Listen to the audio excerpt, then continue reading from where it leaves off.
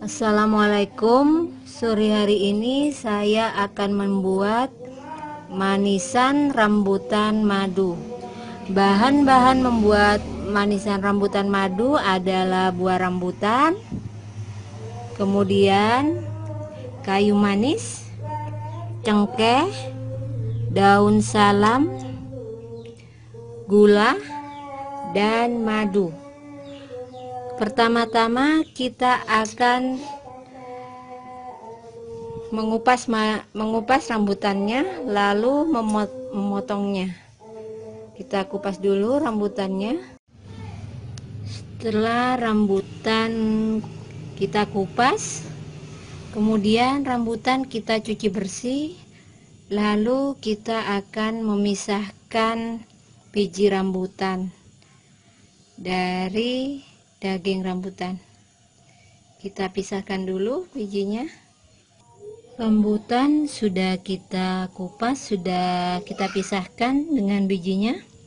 Jika rambutan mengeluarkan air air yang dikeluarkan rambutan kita buang kita saring. Hingga kita dapatin rambutan yang kesat seperti ini. Kemudian kita akan mendidihkan air kita didihkan air. Setelah air mulai mendidih kita akan memasukkan buah rambutan yang telah kita kupas kita masukkan.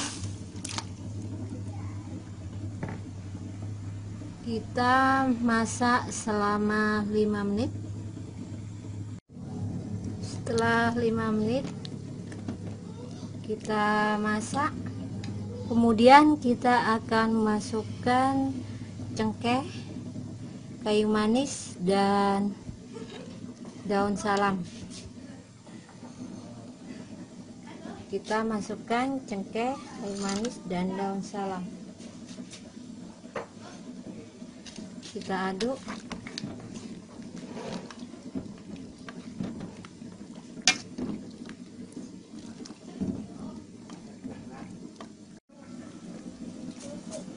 kemudian kita beri sedikit garam.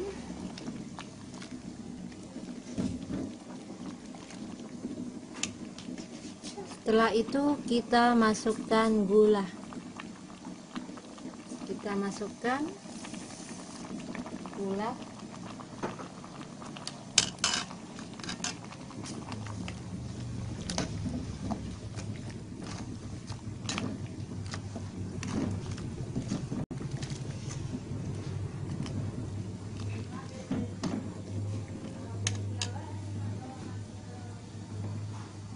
setelah itu kita beri madu sekitar 4 sendok madu.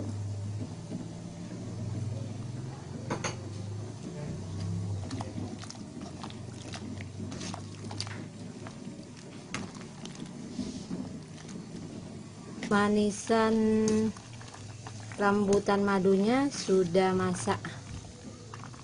Aromanya harum dengan rempah-rempah kayu manis cengkeh dan daun salam. Dan aman untuk dikonsumsi anak-anak. Untuk rambutan madu ini aman dikonsumsi anak-anak.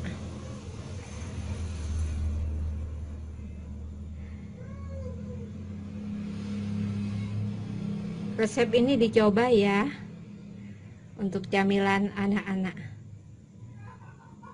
Assalamualaikum